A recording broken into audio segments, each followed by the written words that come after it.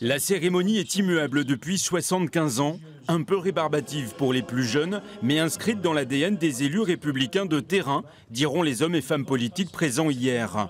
Pour la sénatrice Marie-Françoise Pérol-Dumont, l'absence des trois députés de la Haute-Vienne est au mieux une maladresse, au pire de la légèreté en Haute-Vienne, euh, en Limousin, euh, c'est une terre de résistance.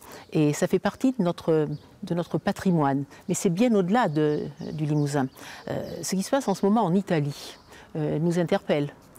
ça a des odeurs de, de chemise noire, ce qui est en train de se passer. Donc il ne faut jamais oublier l'histoire, parce que si on l'oublie, on est condamné à la revivre. Les trois députés La République En Marche, nous avons tenté de les joindre. Sans succès pour Marie-Ange Magne, Sophie Baudouin-Hubière nous a affirmé avoir été retenue par une contrainte personnelle. Quant à Jean-Baptiste Djebari, il aurait été accaparé par une réunion de travail. Les commémorations sont importantes. Le travail, pour améliorer la vie concrète des Hauts-Viennois, me paraît tout aussi essentiel.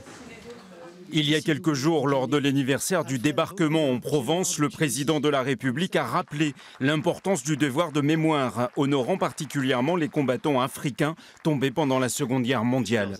Ce qui est important, c'est que les nouvelles générations qui s'éloignent de ces événements ont besoin qu'on donne du sens à ces événements pour qu'elles les comprennent.